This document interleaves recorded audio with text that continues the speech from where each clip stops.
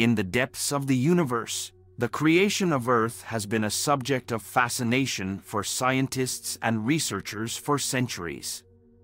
Many theories have been proposed, but the most widely accepted explanation of how Earth formed is through the process of accretion, which began around 4.6 billion years ago. Accretion refers to the gradual accumulation of matter through the force of gravity. In the early stages of the solar system's formation, a large cloud of gas and dust existed. This cloud began to contract due to its own gravitational attraction, causing it to spin and flatten into a disk. This disk eventually became the protoplanetary disk from which the planets of our solar system emerged. As the disk continued to shrink and spin, pockets of denser material began to form. These pockets eventually grew large enough to become protoplanets or planetary embryos. Over time, these protoplanets collided and merged with one another, eventually forming the larger planets that we know today.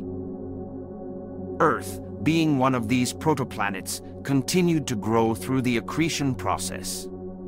As it grew, its gravitational force became stronger, allowing it to capture more and more material from the surrounding disk.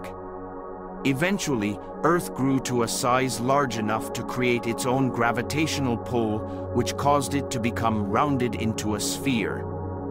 During this period of accretion, Earth was bombarded by a multitude of asteroids and comets. These impacts caused significant damage to the planet's surface, melting and fracturing the young Earth's crust. However, these impacts also brought valuable resources to the planet, including water and organic compounds that would eventually contribute to the development of life. As the Earth continued to grow and develop, its internal heat increased.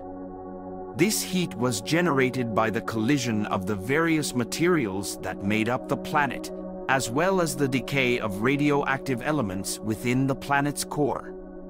This heat caused the Earth to differentiate into distinct layers, with the densest materials sinking to the center to form the planet's core, while lighter materials rose to the surface to form the crust.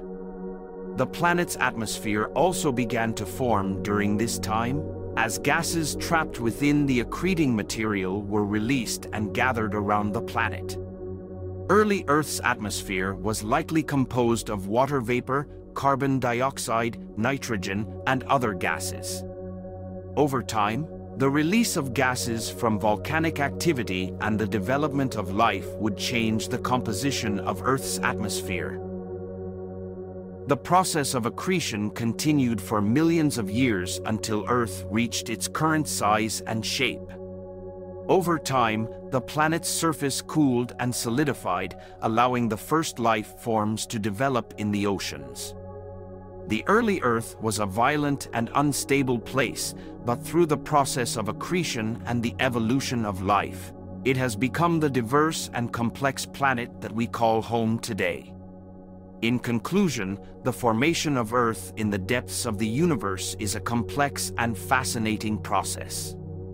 Through the force of gravity and the process of accretion, our planet was born from a cloud of gas and dust that existed billions of years ago. The process of accretion allowed Earth to grow and develop over time, forming distinct layers and eventually creating an atmosphere that could support life.